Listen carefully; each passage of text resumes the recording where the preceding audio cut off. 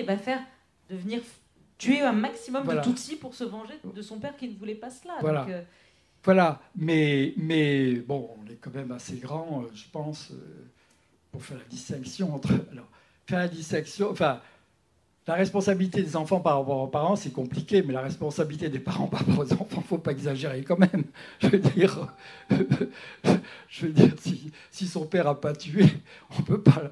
On peut pas lui incriminer les, crimes de ses enfants. Enfin, je veux dire, faut pas. Donc, il y a quand même beaucoup de mauvaise foi. C'est aussi le cas de Valérie. Valérie. Parlez-nous de Valérie parce que c'est un, des, très beaux personnages. Alors, Valérie est une infirmière. Elle est sage-femme dans la maternité de Nyamata. Euh, et euh, euh, l'étau se resserre autour de la maternité, c'est-à-dire qu'on a commencé à Nyamata à tuer dans la rue, on, on, est allé tuer les commerçants chez eux, dans leurs boutiques, etc. Et puis petit à petit, on monte sur les collines pour tuer les cultivateurs, etc. Et puis il y a des lieux un petit peu préservés, qui sont l'église, euh, le dispensaire, la maternité. Et puis on attaque l'église, on tue 5000 personnes à Nyamata comme à Tarama, on tue dans, au dispensaire, et on se resserre sur euh, la maternité où il y a 300 personnes, je crois. En plus, il y a des blessés qui sont venus, etc. Donc elle, est là-bas. Alors elle, elle est mariée à un Tutsi, un, typographe euh, Tutsi de Nyamata, qui est tué immédiatement euh, assez vite avec, ses avec, plusieurs de ses enfants. Alors, elle a huit enfants, il y en a trois qui sont tués tout de suite, deux qui vont être tués un peu après, et trois qui vont disparaître. Et, euh, donc elle, elle est dans la maternité, elle va se réfugier dans la maternité où elle passe son temps comme une infirmière à soigner, soigner, soigner. Et voilà. Et puis il y a, un de ses euh, beaux-frères ou beaux-fils, je ne sais plus, qui vient un jour et qui lui dit c'est fini pour la maternité, Valérie, il faut que tu sortes. Et donc, elle, elle bon, après, je ne sais pas quelle est vraiment l'histoire, elle, elle dit qu'elle refuse, mais que les dames, Tutsi, qui sont dans la maternité, qui savent qu'elles vont, elles vont mourir, lui disent Ça sert à rien que tu restes, Valérie, autant que tu t'en ailles. Parce que Valérie est une famille Hutu, et non seulement pas n'importe quelle famille Hutu, puisque son beau-frère est euh, Joseph Bitero, qui est le grand chef interamoué de toute la région. Donc, euh, euh, elle hésite, je ne sais pas quoi, et, à un moment de avant de partir, elle dit, je ne peux pas partir comme ça avec juste mes deux enfants. Elle avait deux enfants qui l'avaient rejoint à la maternité. Je ne peux pas. Alors elle dit, elle, qu'elle a entendu une voix. Bon, elle, se moque de moi quand je, Euh, qu'elle a entendu une voix qui prononçait un nom. Et ce nom était celui d'un enfant. Et donc elle va voir la mère de l'enfant. Et elle lui dit, consolez, consolez, je ne peux rien faire pour ton nourrisson parce que j'ai plus de lait mais je peux prendre, euh, je peux prendre ton enfant ado, c'est l'enfant qu'on peut porter, il a un an, euh, et l'autre lui dit, la dame lui dit, euh, bah, si tu prends l'enfant, on prend le, fichu avec pour le porter, et elle s'en va comme ça avec l'enfant ado. et elle n'a pas, pas quitté la maternité depuis une demi-heure qu'ils ont attaqué, ils ont tué, tout le monde. Et donc elle va, elle, se réfugier pendant toute la durée des tueries qui restent euh, dans, sa, dans sa famille, donc euh, chez, chez le tueur, euh, qui, est, une famille partagée parce que il, y a des, il y a quand même un, oncle qui protège aussi, qui a protégé aussi des, Tutsis, sans succès parce qu'ils ont été découverts, mais enfin, il les a bien protégés. Et il y en a d'autres qui vont tuer, c'est un peu mélangé. Et puis après, il y a le grand départ des Hutus euh, et elle, elle fait comme, comme stage d'ailleurs, même les Hutus qui n'avaient rien à se reprocher, ils partent parce qu'ils n'ont aucune confiance, ils ne savent pas quel va être leur sort après, ils ne savent pas ce que le FPR qui arrive avec des armes va, va accepter d'écouter, de comprendre, d'accepter, etc. Ils ont, ils ont peur, donc ils s'en vont tous dans le grand flot. Moi j'ai même vu des, des enfants Tutsis qui avaient suivi le flot des, Hutus vers le Congo, parce que c'était des petits enfants euh, ils suivaient une foule, ils étaient paumés, et ils se disaient, voilà, donc elle, elle, part, et elle part, elle franchit tous les barrages comme ça, euh, et, euh, et, voilà, et puis elle va revenir. Mais elle, donc elle ne peut pas être connue comme, à mon avis, comme juste, d'abord parce qu'elle ne le demande pas, ensuite parce qu'elle se mêle de... Elle est très croyante, donc elle croit beaucoup au pardon, elle, fait participe à toutes les réunions de pardon paroissiales. Euh, elle, mais elle est quand même, euh, si je puis dire, euh, elle a du sang de, de Bitero, qui est le tueur numéro un de la région. En elle. Je vais donner la, parole à la, salle si vous avez des questions à poser à Jean Hatzfeld. Euh, peut-être juste parce que vous utilisez le mot de pardon, c'est la, dernière phrase de votre livre. Euh, c'est la phrase de Dévote qui, est une Tutsi qui a, qui a, vu sa famille décapitée, qui a été jetée dans une fosse, dans, dans un charnier que vous racontez avec son fils agonisant qui va mourir. Elle va s'en sortir, elle va grimper et sortir de cette fosse. Et Dévote dit de toutes les façons, il ne peut pas, il ne peut pas y avoir de pardon. Aucun pardon n'est possible. Aucun pardon n'est possible. Alors, euh, je, je, fais juste une petite précision sur des votes. Moi, j'avais beaucoup de mal avec des votes. C'est aussi une des raisons pour lesquelles j'ai retardé ce livre. Euh, euh, des votes ne voulaient pas parler. alors, elle ne voulait pas parler parce que elle avait honte. Il y a toujours dans, les blocages des gens, et surtout chez les Tutsis, il y a un blocage qui vient de l'animalité, de l'animalisation qu'ils ont vécue. C'est pas tellement l'horreur, c'est pas tellement d'avoir perdu ses enfants, etc. C'est à un moment donné d'avoir été jeté dans un trou d'aisance euh, et d'avoir survécu à ça et d'être sorti, d'avoir été jeté toute nue, d'avoir pas pu sauver son enfant qu'elle avait sur l'épaule et qui était mort dans la chute, d'en être sortie, etc. Elle ne peut pas raconter ça. C'était très dur. Elle l'a raconté finalement, mais il a fallu 20 ans. Et vous dites d'ailleurs, vous écrivez, est-ce ici la limite du récit voilà. Est-ce que là s'arrête votre travail quand face à des votes? Voilà. Donc moi j'ai retardé parce que je pensais que je franchissais la ligne. Et à un moment donné, je me suis dit, mais pour comprendre l'attitude des Tutsis, quand même j'ai un petit peu exagéré en début de rencontre en disant qu'ils sont de mauvaise foi. Euh, pour comprendre euh, les soupçons qu'ils portent, pour comprendre les réticences, pour comprendre euh, les souffrances, et ça, il ne faut pas oublier, jamais oublier ce qu'ils ont vécu, c'est-à-dire ce qu'ils ont vécu. Et je voulais donc mêler cette histoire de bonté, cette histoire d'îlot, de, de, de, gentillesse, comme ils disent, la gentillesse étant un mot beaucoup plus fort chez ceux que chez nous, euh, je voulais le mêler à, cette histoire de dévote pour comprendre quand même qu'est-ce qu'il y a dans cette tête. C'est-à-dire, qu'est-ce qu'il y a dans la tête de Jean-Baptiste quand il a vu toute sa famille se faire tuer et qui dit Moi, je ne veux pas mêler Isidore à ça. il y a quand même quelque chose qui, est très, très, très fort. Et je voulais, j'attendais un peu des votes pour ça. Et des votes finalement acceptés. Elle, a parlé, c'était très, très, très compliqué. Hein. Il a fallu attendre 25 rendez-vous pour que.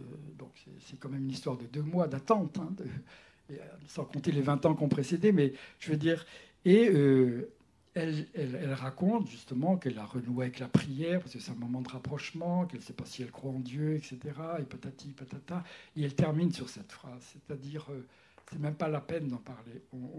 il y a le pardon de l'État, ça c'est sûr, l'État a pardonné, et donc a sorti beaucoup de prisonniers, il y a le pardon de Dieu, parce qu'on est tous croyants, on est tous chrétiens, il y a le, Dieu pardonne à ceux qui sont offensés, il y a le pardon. Mais le pardon du Tutsi, ça n'existe pas. Le, pardon personnel, ça n'existe pas. Aucun pardon n'est possible. Elle, elle dit que non. Elle parle, pas, elle parle pour elle. Elle ne parle pas pour tout le monde. Il y a d'autres gens qui peuvent dire j'ai pardonné. Euh, mais euh, elle dit d'ailleurs, quand elle croise la personne qui l'a poussée dans le truc, elle dit euh, je m'en fiche. Enfin, je ne vais pas l'accuser, j'insiste pas. Il passe, qu'il soit en prison ou dans la rue, je m'en fiche, tout ça. Mais pardonner, ça, je ne peux pas. Elle pardonnera. Des questions?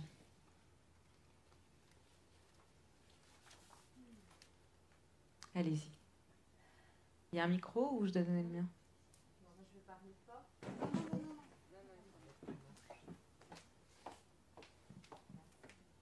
Bien tard. Euh, moi, je voulais dire combien je suis contente que vous ayez accepté aujourd'hui l'invitation de Mémorial de la Shoah parce qu'elle va me permettre de vous poser une question que je me pose depuis longtemps. Mais peut-être en préambule, vous dire en tant que survivante combien euh, votre premier récit sur le Rwanda dans le nu de la vie avait été euh, fondamental, important, parce que je pense qu'il a fait vraiment saisir aux Françaises et aux Français cette histoire-là, qu'ils avaient peut-être jusqu'alors considérée de loin. Donc merci pour ce premier livre. Euh, ma question, peut-être que je me la suis posée à partir du deuxième et puis au suivant, c'est sur la langue. Euh, parce que euh, il y a cette langue que, les journalistes disent, voilà, cette langue très particulière que vous avez inventée, utilisée. qui, je, me rappelle, il y a deux ans, vous aviez fait une, une masterclass sur France Culture avec Emmanuel Laurentin. Je me dis, ah oui, dans la masterclass, on va rentrer dans, l'atelier de l'artiste. Et, du coup, très vite, Emmanuel Laurentin dit euh, le, Rwanda est majoritairement francophone. Et donc, la question est éludée alors que le Rwanda est majoritairement, voire est absolument rwandophone. Et, et, que les gens, je pense, quand ils lisent les parties de, vos récits qui sont les témoignages des gens, pas les parties où vous, vous racontez, euh, euh, pensent que c'est le, Kinyarwanda euh, retranscrit en français.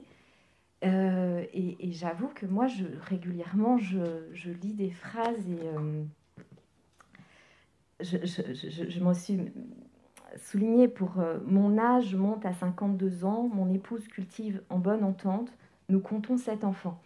Ce genre de phrases-là qui sont tellement typiques de, cette écriture-là. Et, moi, on me dit, mais c'est comme ça que vous parlez au Rwanda. Je dis, je sais pas, je sais pas, parce que j'essaie de les retranscrire en Kinyarwanda pour essayer de voir quel est le Kinyarwanda qui a donné ça. Et je ne le retrouve pas, et, je me dis, voilà, il y a le traducteur là-dedans. Et j'aimerais bien que vous nous racontiez comment vous travaillez avec le traducteur, que vous citez dans ce livre, entre parenthèses, à un moment donné, en disant, on n'avait pas amené de la bière parce que le traducteur et moi avions oublié. Et, donc comprendre, parce que cette histoire de langue, quelque part, nous, Rwandais, on nous la pose souvent, de, quel est ce en sachant qu'il y a peut-être, voilà, moi je me suis imaginé un traducteur à l'ancien, enfin quelqu'un qui a appris le Kinyarwanda à l'époque de nos parents, avec des belgicismes, ce genre de choses, mais, mais comment vous, en tant qu'écrivain, arrivez à cette langue et, êtes-vous conscient de, ce que, à nous, Rwandais en France, on nous renvoie par rapport à cette langue? Alors, si je prends le cas de Isidore, les deux Jean-Baptiste qui parlent d'Isidore et Innocent qui parle d'Isidore tous les trois parlent en français. Si je prends le cas de Edith et Eustache, Edith parle en français, Eustache parle en français. Si je prends le cas de François Caniga-Niré, sa fille Claudette parle en français, les deux autres en kinyarwanda. Si je prends le cas de Valérie, elle parle en français. Si je prends le cas de Jean-Marie Vianney Setakwe et de son épouse Espérance, ils parlent en kinyarwanda. Si je prends le cas de Silas et Providence, Silas parle en français, Providence parle en Kinyarwanda. Si je prends le cas de Joseph, Sylvie Oumoublié, cette histoire parle en français. Si je prends le cas de Dans le nu de la vie, qui est le premier livre que vous évoquez, il y a 14 personnes qui s'expriment. Il y en a 6 euh, ou 7 qui parlent en français, euh, donc il y en a sept qui parlent en Kinyarwanda et qui sont traduits par trois personnes différentes. Une c'est Edith, une c'est Sylvie et une c'est Innocent Riwililiza. Donc quand même les deux tiers des personnes euh, qui parlent parlent en français. Tous les entretiens sont enregistrés. Ils sont tous enregistrés, ils sont chez moi, ils sont à votre disposition. Ils sont tous intégralement retranscrits tous intégralement retranscrits. Il y a, il y a des, étudiants qui ont fait des thèses, qui ont fait des, des, travaux sur ces recherches. Je leur ai tout donné les documents, parce qu'évidemment, tout le pensait que j'avais tout bidonné. Et, euh, et donc, euh, il, y a, y a, si vous voulez, tout est retranscrit. Alors après, il y a il n'y a aucune phrase écrite dans ce livre qui n'a pas été prononcée. Par contre, ce qui a été fait, c'est ce que j'appelle l'élagage évidemment que moi, je, pour parler par exemple avec Edith Stache, je les ai vus cinq fois. On, a, on, a, on, s'est parlé plusieurs heures chaque fois. On a bu des bières, on a parlé des enfants, on a parlé du temps, on a parlé des patati, patata, patata, avec et même des sujets. Et euh, ce que je fais moi, c'est que j'enlève beaucoup. J'enlève beaucoup, j'enlève beaucoup. Soit parce que c'est pas intéressant, soit parce que euh, c'est redondant, soit parce que c'était dit, soit parce que c'était mieux dit par ailleurs, soit parce que ça rentre pas dans le sujet, etc. Et par contre, et ce que je fais aussi, c'est que ces paroles ne sont pas dites, ne sont pas écrites euh, chronologiquement comme elles ont été prononcées. C'est-à-dire je vais voir une personne au mois d'août, on fait, on fait un entretien, Après, euh, je retranscris chez moi tout, patati, j'ai d'autres questions. Je, me dis, j'aurais dû poser cette question, je ne comprends pas bien ça, ou je sais pas quoi. Je retourne voir cette personne, on en reparle, et puis on va en parler une troisième fois. Je ne vais pas euh, chronologiquement le mettre, je vais tout mêler. Ça, c'est sûr que je vais tout mêler. Voilà. Donc, c'est, si vous voulez, euh, quand, quand voilà, je prends la première phrase du livre, voilà. Il était une personne philosophe, voilà ce qu'on peut dire d'Isodore Mandago. Bien qu'il n'avait pas pris sa place sur le banc de l'école, on buvait ses paroles comme le bon lait. Surtout les vieux comme lui qui aiment se renvoyer des considérations. Ça, c'est prononcé. Je l'ai chez moi. Je peux vous l'amener. C'est prononcé en français. C'est-à-dire que euh, euh, euh, Jean-Baptiste, qui est un instituteur, donc il parle un petit peu comme ça, parce qu'il est instituteur, qui est quand même 80 balais, 80 ans, il parle comme ça. Voilà. Euh, euh, Innocent parle comme ça, Sylvie Moubéi parle comme ça. Sylvie Moubéi, moi, la première chose, c'est la première personne que j'ai entendue euh, quand je suis arrivé à Nyamata. Donc j'ai vu, c'était pour un reportage, c'était pas pour le livre, et j'ai entendu Sylvie Moubéi parler comme ça des enfants et tout ça.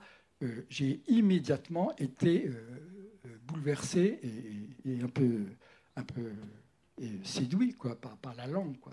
Voilà, donc, donc je ne peux rien dire d'autre, sinon qu'effectivement, il y a un énorme travail de montage, euh, c'est-à-dire que euh, y a des parties qui étaient après, qui viennent avant, etc., etc. Dans le, surtout quand c'est des monologues, comme c'est des, euh, il y a beaucoup de choses qui sont enlevées. Dans le de la vie, j'ai calculé, j'avais à peu près l'équivalent de 20 livres qui sont devenus 1, donc j'enlève 19 livres. Hein. donc j'enlève, hein, j'enlève, j'enlève, j'enlève, j'enlève. Sinon, le reste est enregistré. Alors après, il y a quand même des gens qui sont traduits. Par exemple, justement, je disais Silas et Providence, Providence parle en Kinyarwanda, ou euh, Jean-Marie Setakoué et son épouse, où ils parlent ça. Et puis même dans, tous les autres chapitres, il y en a un ou deux qui parlent. Alors, euh, j'ai longtemps travaillé avec des, traducteurs, très fidèles. Donc, c'était un peu Sylvie Mobili, un peu Edith, j'ai oublié son nom, ça commence par U, et, euh, Innocent Lisa.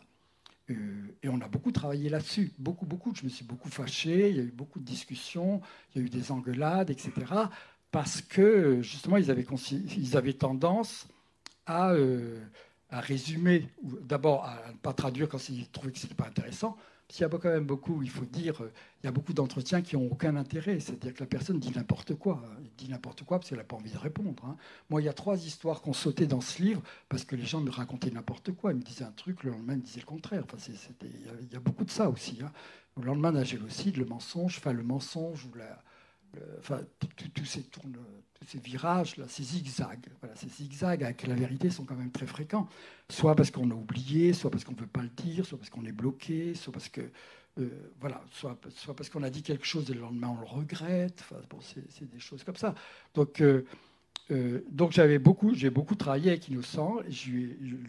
Insisté pour que ce soit du mot à mot, mot à mot, mot à mot. Je lui ai toujours dit, c'est pas à toi de décider si c'est intéressant ou si c'est pas intéressant. Si tu penses que quelque chose est vrai, tu peux toujours me donner un petit coup de coude, ou me dire là il est en train de t'embarquer dans un truc qui est tout à fait faux.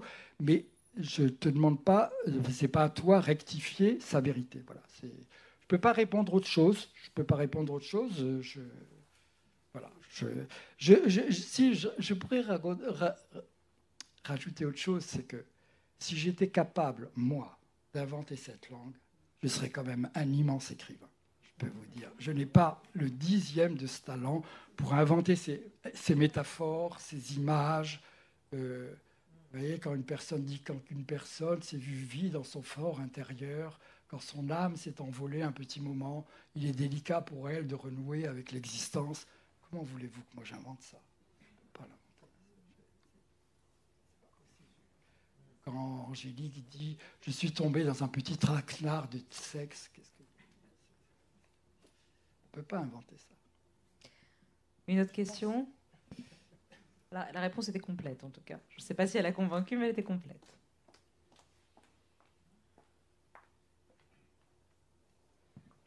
je voudrais vous dire que je, je comprends bien que vous, vous arrivez aujourd'hui pour un livre qui est une, une, série de livres pour arriver à cette réflexion d'aujourd'hui. Moi, euh, je, le regrette, mais sincèrement, je connaissais très mal, très très peu et très mal.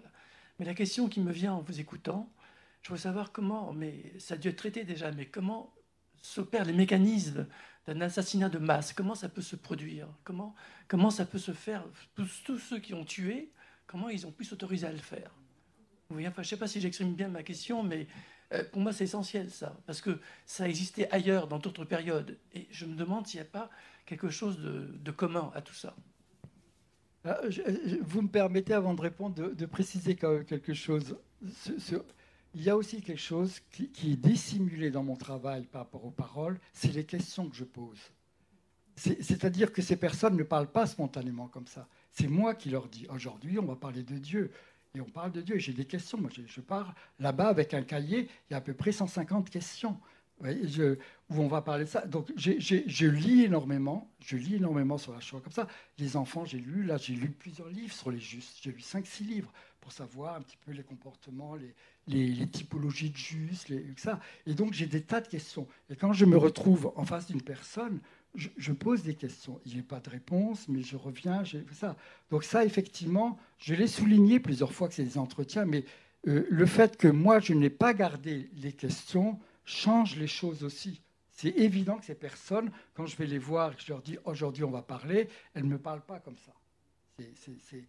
si vous voulez, si je vous amène les bandes comme ça, vous verrez qu'il y a constamment des questions. Constamment, il y a gens qui disent gna gna gna gna gna gna gna Voilà. Donc ça, c'est important. Euh, l'autre question. Eh bien, l'autre question. C'est-à-dire. Euh, c'est-à-dire que. Qu'est-ce qui donne l'autorisation de tuer comment, les massacres de masse? Quand vous, vous regardez, bon, quand on regarde ce qui s'est passé, je vais répondre très brièvement, mais quand on regarde ce qui s'est passé euh, pour la Shoah et pour le génocide Tutsi, et qu'on se contente, sans aller trop loin, sans aller jusqu'à la colonisation allemande, sans aller jusqu'à ces conflits qui sont très importants, mais enfin qui sont quand même lointains, les, conflits euh, euh, avec les Flamands, enfin tout ça. Si on regarde les, 20 ou 30 années qui précèdent, voilà, qui précèdent, on s'aperçoit quand même qu'il y a, un, processus euh, qui présente beaucoup d'analogies, que je résume très brièvement. Un, l'arrivée d'un dictateur dont la première phrase, quasiment, est de dire qu'il y a une partie de la population qui est en trop dans la société. Voilà, c'est dit assez clairement. Ça ne veut pas dire qu'on les tue tout de suite, ça veut dire qu'ils sont en trop dans la société. Et ce, cette euh, affirmation va être reprise constamment, mais elle ne va pas être seulement reprise en discours politique, elle va être reprise aussi dans la culture. C'est-à-dire, ça va devenir des blagues, ça va devenir des, des, plaisanteries, ça va devenir des caricatures, ça va devenir des choses. Et donc, ça va augmenter. Parallèlement, se met en place un système de discrimination de discrimination, euh, c'est-à-dire qu'on distingue ces gens-là. Euh, il y a des, comment on appelle ça, des, restrictions. Enfin, je veux dire, il y a des quotas, il y a des, euh, voilà, on les marque, on les empêche, on les, voilà, il y a une répression contre eux, voilà. Que cette répression va aller grandissante, c'est-à-dire qu'il va y avoir de plus en plus de crimes, puis de petits, de petits programmes qui vont, qui, vont parce que, par exemple, Al-Yamata, ça avait commencé bien avant 1994. Euh, il y avait eu des programmes, des, groupes de tués de, en 92, en 73, etc. Ça a commencé en 59. Vous voyez, c'est, par exemple, Nyamata, les gens qui habitent à Nyamata sont tous des gens qui ont été chassés de leur région. Donc déjà, ça avait commencé en 59. Vous voyez Donc il y a ça. Et parallèlement à ce crescendo dans la répression, dans le marquage, dans la distinction, etc., il y a un crescendo dans l'immunité, l'impunité, pardon, dans l'impunité. C'est-à-dire on est de moins en moins punis. On est de moins en moins punis. Euh, on, tue, il y a par exemple des gens qui ont tué Anyamata un peu avant, ils n'ont même pas été poursuivis. Ignace, euh, qui était un des personnages, tout ça. Donc, il y a ce crescendo, et ça, c'est deux crescendo. Et ça ne fait pas un génocide, ça, mais il y a la guerre. Donc c'est dans le chaos du non-droit de la guerre, 40 pour 1940, 1992 au Rwanda, il y a la, guerre civile euh, comme ça, et dans le chaos du non-droit émerge ce génocide. Voilà. Après, il y a des phénomènes, ce qu'on appelle les phénomènes de, de, grégarisme de grégarité, je ne sais pas quel est le mot, c'est-à-dire que euh, on, a tellement diabolisé euh, le mal le mal qui est le Hutu, qui est le juif ou qui est le tzigane. On l'a tellement diabolisé que même si on n'y croit pas, on y croit quand même. C'est-à-dire que on va aller euh, à Nyamata à tuer son meilleur ami, même si on sait que son meilleur ami n'a rien fait. Enfin, je veux dire, c'est à un moment donné, on se dit que pour se débarrasser du problème, le mieux est peut-être d'éliminer. Voilà, de, supprimer le problème en supprimant euh, celui qui incarne le problème, qui est le personnifie ce problème, qui est le Tutsi. Et on va lui inventer euh, des oreilles pointues, des nez crochus, euh, des, choses comme ça auxquelles personne ne peut croire dans un pays comme le Rwanda, mais on l'invente et voilà. Et on, ça. Et puis après, évidemment, pendant les tueries, il y a une pression terrible. Alors il y a deux pressions qui s'exercent, celle de l'accaparement, c'est-à-dire ce qu'ils appellent la gourmandise, euh, se prendre les parcelles, les vaches, etc., euh, des Tutsis, mais surtout euh, de faire comme les autres pour ne pas avoir d'ennui. Voilà, c'est comme ça. Et, ce qu'on a dit avec Léa tout à l'heure, c'est qu'il y a une violence telle qui s'exerce contre ceux qui s'opposent qu'on recule. Est-ce que vous me permettez d'ajouter une petite chose? Il y a encore une petite chose dans tout ce que vous avez nommé pour répondre au monsieur. C'est qu'il y a un phénomène dans l'embrigadement dont vous parlez qui est de justification par l'idée que l'autre est l'ennemi. Et que si c'est pas lui, c'est lui qui va nous tuer. Si on ne le tue pas, il va nous tuer. Ce qui permet après, et ça c'est à propos des juifs, ça a été les Arméniens pendant la guerre, il faut toujours une guerre, un génocide se fait toujours à l'ombre d'une guerre, mais il y a cette idée d'une paranoïa induite qui est l'autre va nous veut du mal. Donc nous sommes en légitime défense. Si nous sommes en légitime défense pour protéger nos enfants, nos femmes, là, la conscience morale, euh, elle baisse déjà d'un cran groupement. Donc quand pendant des années, enfin, je pense que vous êtes d'accord, le Tutsi est présenté, et ça passe souvent par la langue, on déshumanise l'autre dans la langue le cancrelat, la mauvaise herbe, etc. Déjà, on lui enlève sa qualité d'être humain. Et puis, on explique que de toute façon, c'est l'ennemi numéro un. Donc, si c'est l'ennemi numéro un, c'est lui ou nous. Donc, si c'est lui, on est en état de légitime défense, qui fait baisser la conscience morale. Et à ce moment-là, tout un groupe peut, avec des, toutes sortes de, variantes, tuer, euh, j'allais dire sur le coup, en, bonne conscience, puisque je défends euh, ma femme, mes enfants, euh, ma parcelle. Je ne sais pas si vous êtes d'accord, mais c'est un phénomène qu'on retrouve dans tous les, grands génocides du siècle, ce phénomène de projection qui est que l'autre est notre ennemi. Pour les Arméniens, c'était la cinquième colonne, puisque voilà, il y avait la Russie, il y avait les Arméniens, on était en guerre, donc le Tutsi est désigné comme l'ennemi de l'intérieur, lié aux ennemis de l'extérieur, qui sont les Tutsis euh, à l'extérieur, le FPR, donc évidemment, on ne peut pas laisser un ennemi de l'intérieur parce qu'il est dangereux. Vous êtes d'accord? Bien sûr, je suis d'accord. C'est un peu d'ailleurs ce que je disais tout à l'heure avec la guerre et tout ça. Mais je veux dire, c'est. Je rajoute, je ne contredis pas, je rajoute à cela euh, que tout ce que j'ai dit, tout ce que vous avez dit, euh, ne suffit pas à comprendre. C'est-à-dire que moi, je, décris quelque chose, vous décrivez autre chose, qui est complémentaire, mais euh, ces descriptions sont quand même assez limitées dans ce qu'on a observé et à aucun moment, si vous voulez, moi, si vous me demandez pourquoi il y a la guerre au Liban ou la guerre en Bosnie, je vous l'explique assez facilement. Hein, ah bon? Oui, oui, je, je, je, oui, je, non, non, mais je vais. facile à comprendre, même si complexe parfois. Oui, ah, non, non, mais c'est complexe, etc. Je ne veux pas dire que c'est des histoires simples, mais enfin, l'Irak et tout ça, je, comprends. Euh, malgré ce que vous avez dit, malgré ce que j'ai dit, euh, ça n'explique pas euh, tout de même qu'à Nyamata, ils aient tué 50 000 personnes en sept semaines euh, à la machette. voilà. Ils n'avaient pas si peur que ça, ils n'avaient pas si à gagner que ça, ils n'avaient pas si diabolisé que ça. Ils, ils, vivaient, enfin, je veux dire, il y a un moment donné où il y a quand même une zone inexplicable quelque chose qui relève du mystère qui remet, et qui, qui, rend facilement le, qui rend facilement l'histoire et qui la rend surtout euh, intarissable, infinissable. Quoi. Je veux dire, euh, s'il y a, euh, on en parlait tout à l'heure, mais je veux dire, s'il y a toutes les semaines un nouveau livre qui sort sur la Shoah, euh, maintenant, bah, c'est plus des romans, ou je sais pas, mais c'est parce que c'est sans fin. Enfin, je veux dire, c'est sans fin. Il n'y a pas un moment donné, on a fait, on a fait le tour du sujet. Ça veut dire qu'il y a encore beaucoup de livres sur le Rwanda que vous allez écrire? C'est sans fin. Une question personnelle, pardonnez-la moi, mais, mais on est au mémorial de la Shoah, donc je ne peux pas vous poser la, ne, pas, ne pas vous poser la question, Serge Hatzfeld. Vous, êtes, euh, vous avez grandi au Chambon-sur-Lignon, où 4000 juifs ont été cachés pendant la Deuxième Guerre mondiale, votre père a été caché, votre entraîneur de foot a été parmi ceux qui ont caché des juifs. Est-ce qu'il y a dans votre obsession rwandaise au bon sens du terme, quelque chose, une résonance avec ce que vous avez, vous, vécu Est-ce qu'il y a dans ce livre-là, où vous voulez rendre hommage à neuf personnes, à neuf Hutus qui ont fait des gestes de bonté, quelque chose à voir avec votre enfance? L'enfance décide, disait Sartre. Est-ce que l'enfance a décidé aussi dans, dans ces justes du Chambon-sur-Lignon Ou là, je fais de la psychologie et je suis à côté? Euh, Non, non, je ne sais pas quoi répondre à cette question.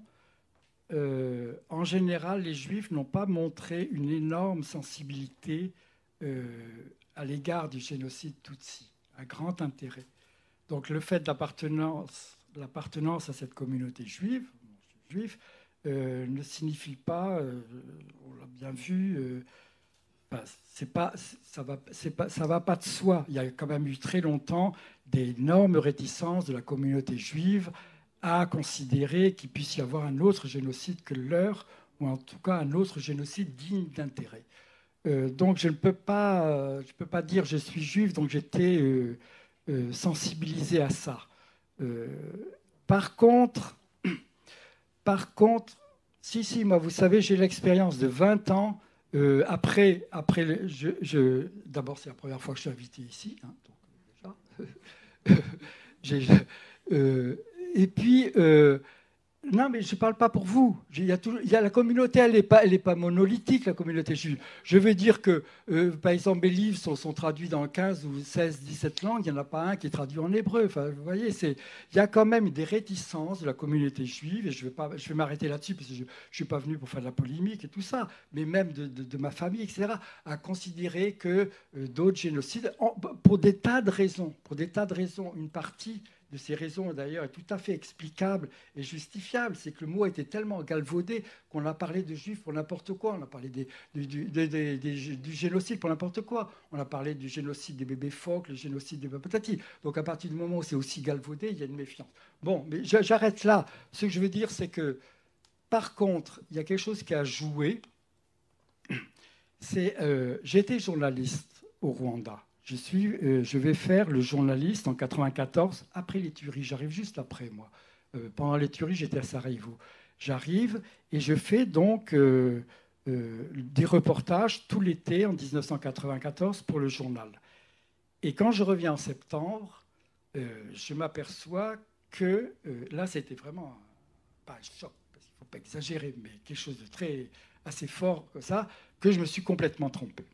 Que je me suis complètement trompé et que euh, je ne suis pas le seul à m'être trompé, à peu près tous les journalistes s'étaient trompés, dans le sens où euh, on avait parlé d'à peu près tous les protagonistes de l'histoire, c'est-à-dire euh, les casques bleus, l'opération turquoise, l'armée du FPR qui arrivait, Bernard Kouchner qui se démenait, patati, machin chose, les Belges ceci, les Belges cela, etc.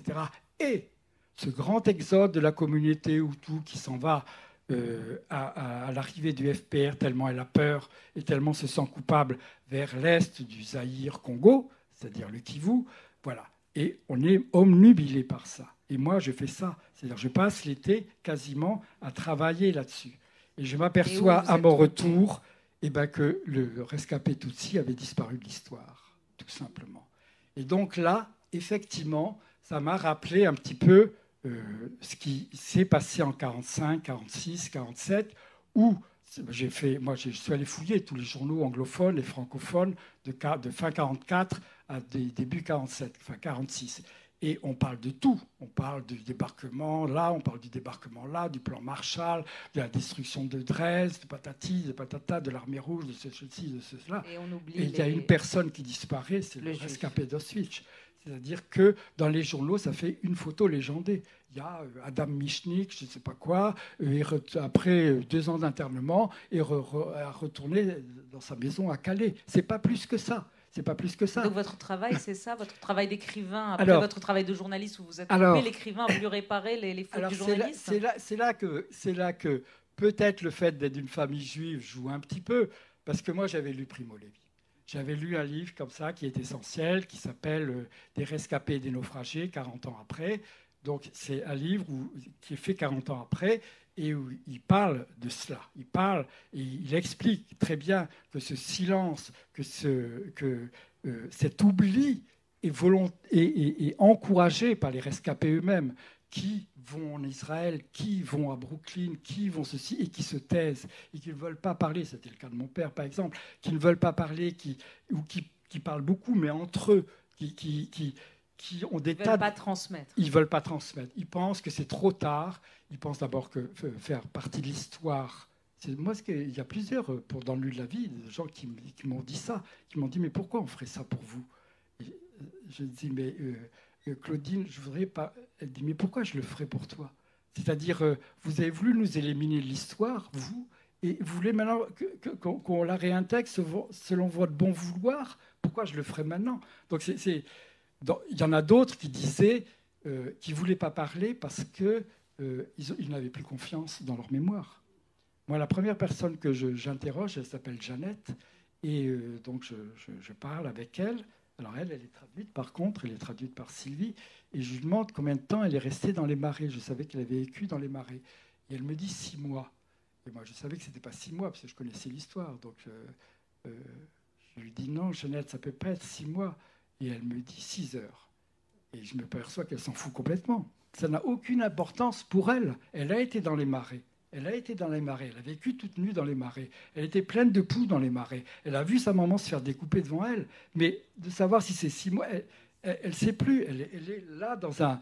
Dans, ça relève, je ne sais pas, je ne suis pas psychanalyste ni psychiatre, mais ça relève dans de quelque chose où, où la, notion de temps, la notion de quantité, de date, etc., n'a plus aucune importance. Il faut vivre avec ça. Et souvent, il y a, une, des personnes qui dit certains souvenirs sont polis comme le verre et d'autres sont jetés dans le trou de l'oubli.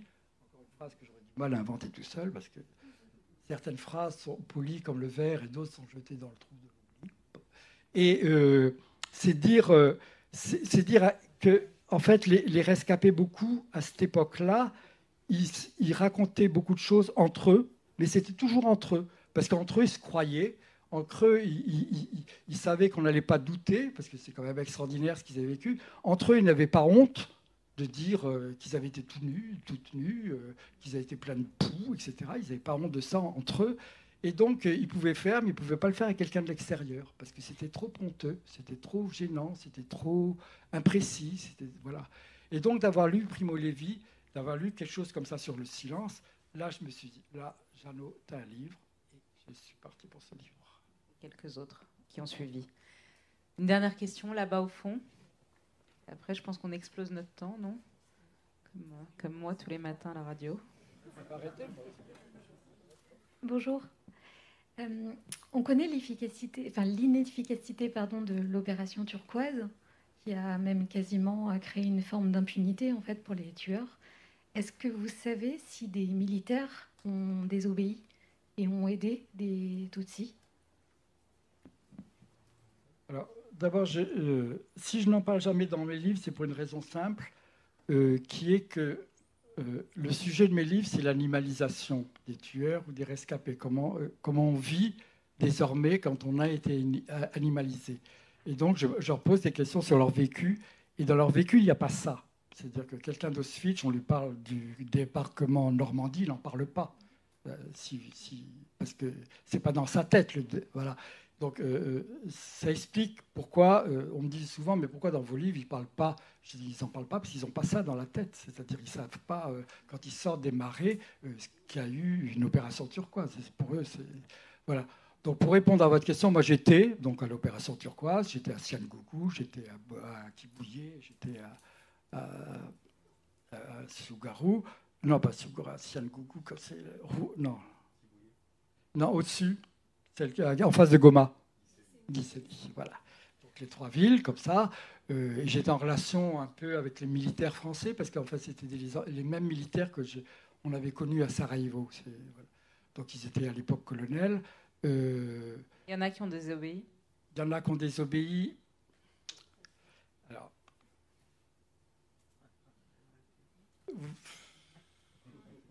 C'est difficile de dire qu'ils ont désobéi parce qu'ils n'avaient pas beaucoup d'ordre non plus. Euh, euh, ils ne comprenaient rien. Euh, ils avaient des ordres qui, venaient, qui étaient contradictoires. ils n'ont pas été aussi nickel qu'on a voulu bien le dire dans le rapport du clerc. C'était quand même moins. ce rapport a quand même été un peu négocié pour épargner l'armée française. Il y a évidemment des si vous voulez, ce qui se passait, c'est qu'il y avait beaucoup d'interamoués. Les interamoués, ils avaient comme idée, mais ça s'est passé exactement comme ça pour la Shoah, c'est-à-dire que le dernier train qui part euh, de Berlin pour, euh, pour Auschwitz, c'est le 5 janvier 1945. C'est-à-dire que la guerre est foutue, mais ils envoient quand même des, Hongrois euh, en camp. Et, là, sur le chemin, c'est-à-dire sur cette grande communauté Hutu qui va s'enfuir dans la panique totale vers Goma ou vers Bukavu, etc., elle tue encore en chemin. Elle tue en chemin, elle veut tuer tout le temps. Tout le temps. Dès qu'elle voit un Tutsi, elle veut le tuer. Voilà, Donc, euh, euh, effectivement, quand ils ont commencé à vouloir tuer dans la zone turquoise, il y a des militaires français euh, qui ont dit non. Vous passez, vous, allez au Congo, c'est déjà pas mal pour vous, mais vous ne tuez pas chez nous. Donc, je ne sais pas si c'est beaucoup qui ont fait, qui dit, mais il y en a qui l'ont dit, voilà, qui, sont allés voir des interamoués en disant vous filez au Congo, mais vous arrêtez de tuer. Voilà. Euh, c'est pas beaucoup plus que ça, je peux pas répondre. En fait, j'en sais trop. Et, peut-être pour terminer, parce que c'est l'actualité et qu'elle a marqué et que c'était il y a quelques semaines, puisque vous parlez du rapport du Duclerc, ce fameux rapport commandé par Emmanuel Macron, qui a pour la première fois écrit que la France avait des responsabilités lourdes et accablantes dans le génocide du Rwanda, euh, même s'il exclut la thèse de la complicité. Puis il y a le voyage d'Emmanuel Macron il y a quelques semaines à au Rwanda et ces mots d'Emmanuel Macron, je viens reconnaître la responsabilité, notre responsabilité, la responsabilité de la France dans ce qui s'est passé. Est-ce que vous pensez que c'est un pas important ce qui s'est passé, le rapport, les mots d'Emmanuel Macron, voilà, sans faire de politique, mais juste parce qu'on est sur ce sujet? Alors, euh, j'étais un peu dubitatif et peut-être un peu déçu au début. Euh, on espérait quand même beaucoup euh, qu'il demande pardon, comme d'autres l'ont fait. il ne l'a pas fait. Et j'ai été contredit par beaucoup d'amis à Nyamata, qui, eux, n'étaient pas du tout dans cet état d'esprit de dire il n'est pas allé jusqu'au bout, il a encore déçu, c'est guère beaucoup plus que beaucoup mieux que Sarkozy, etc. Ils ont été vraiment contents. Ils ont vraiment été contents. Euh, pour eux, euh, voilà, il y a quelque chose qui quand même euh, peser très fort sur eux parce qu'ils aiment quand même beaucoup le français, même s'ils n'aiment pas beaucoup la France, mais enfin ils aiment beaucoup le français. Ils ont eu une, longue histoire. Euh, ça, leur pesait beaucoup cette attitude française de, nier, de toujours nier, de, refuser d'admettre, de refuser de regarder, de, de, ne montrer aucune compassion, de ne montrer aucune c'était très lourd pour eux. Et d'avoir vu ce geste, qui est quand même un geste fort, qui même s'il ne va pas jusqu'au bout, euh, dit quand même, il y a quand même une phrase où il dit à un moment donné, il va falloir qu'on apprenne à faire face aux souffrances que nous avons imposées à la population Tutsi. Donc c'est quand même, il faut s'habituer à, accepter les souffrances qu'on leur a causées. C'est quand même des, phrases qui ont, marqué les esprits. Il y a aussi cette idée de je vous demande pas pardon, mais j'espère être pardonné. Euh, bon, c'est un peu ambigu, c'est un petit peu bon, c'est linguistiquement compliqué, diplomatiquement très, très sophistiqué, tout ça. Mais euh, je pense, moi je ne parle pas du tout pour les Rwandais, je ne parle pas du tout pour les, la, communauté Tutsi, je parle, je parle juste pour les amis que je connais à Nyamata. J'ai été étonné du fait qu'ils me contredisent en disant Jean pinaille pas, on est vraiment. Euh, on est vraiment euh, c'est une étape. Il y a, d'autres étapes. Hein. C'est pas clos, mais c'est une étape. Merci. Merci beaucoup. Vous voulez... Ah, une dernière question.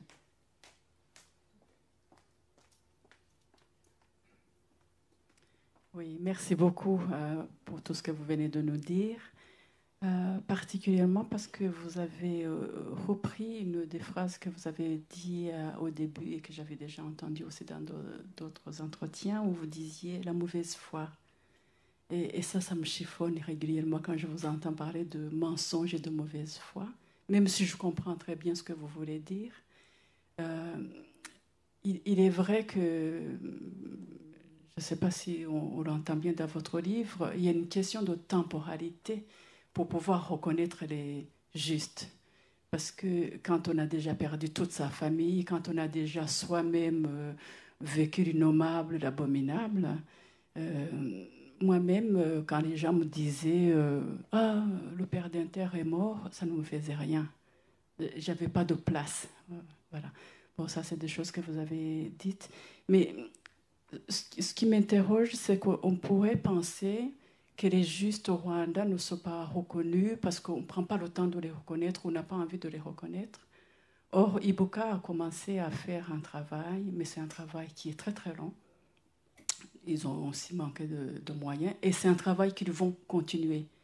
Donc là, ce qui se passe à Nyamata, et je pense que c'est spécifique à Nyamata, donc il y a de temps en temps, une, pour moi, une confusion entre les justes, enfin ce qu'on peut nommer en français comme justes, les Indakemwa en Kinyarwanda et Abalinzi Bigihango, dont vous avez parlé tout à l'heure, par exemple, les gens qui ont fait des, des écoles, des orphelinats, ça c'est Abalinzi Bigihango, c'est des gens qui participent la reconstruction du pays, euh, euh, alors que les justes et les Indakemwa, c'est un travail qui se fait encore et qui est hyper complexe parce que effectivement, vous avez dit, c'est mélangé hein, entre ceux qui ont sauvé et ceux qui n'ont pas sauvé, mais aussi parce que euh, c'est comme s'il a fallu hiérarchiser.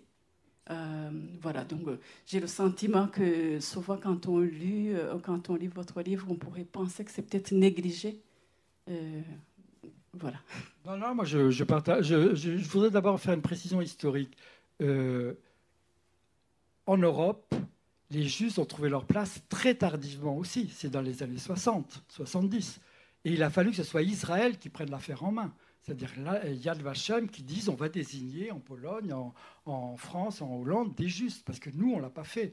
En 1945, les organisations de résistants, quand s'est posé la question de savoir si on allait donner, reconnaître comme résistants euh, les justes, ont refusé. C'est-à-dire euh, euh, sauver des justes des juifs, pardon, sauver des juifs n'était pas considéré comme un acte de résistance. Donc il ne faut pas non plus, voilà, c'est une précision, c'est que chez nous aussi ça a mis très très longtemps. Si Israël n'avait pas mis tous les moyens qu'ils avaient mis pour le faire, ça ne serait jamais fait. Euh, par exemple, moi on parle du Chambon-Solignon il y a 4000 personnes qui ont été sauvées, mais enfin ça date de Chirac et de Simone Veil, donc c'est quand même 30 ans après, non, 60 ans après. Donc voilà, donc ça c'est une première chose.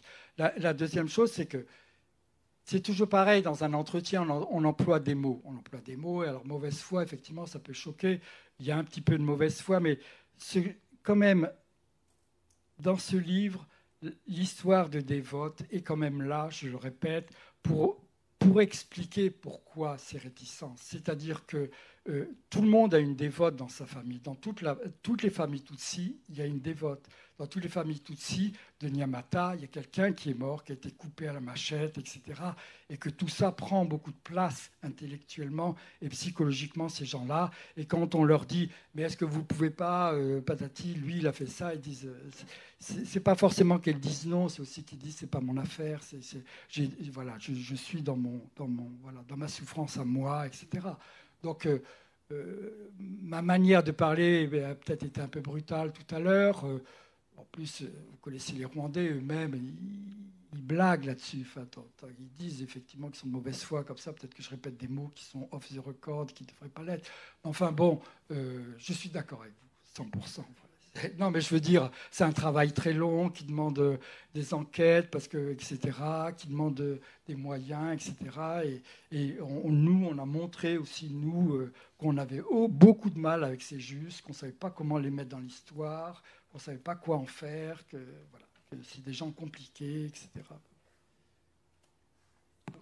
Merci. Merci beaucoup, Jean Hatzfeld.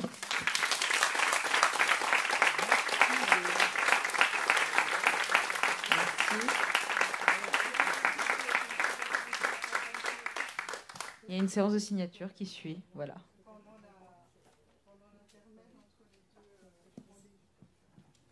Merci beaucoup à tous les deux. Merci. Donc, euh, si vous souhaitez acquérir l'ouvrage de Jean Hatzfeld et peut-être euh, s'il accepte de se prêter au jeu de la signature, pour une dizaine de minutes avant de reprendre euh, pour la seconde rencontre. On a un peu de retard. Merci. Oui. Allez-y, prenez votre micro. Si je me suis permis aussi quelques maladresses un peu, un peu brusques, c'est aussi parce que je sais qu'il y a une deuxième réunion derrière, vous allez vous parler. Et je sais très bien qu'il y a des gens qui sont pressés de me contredire. Donc...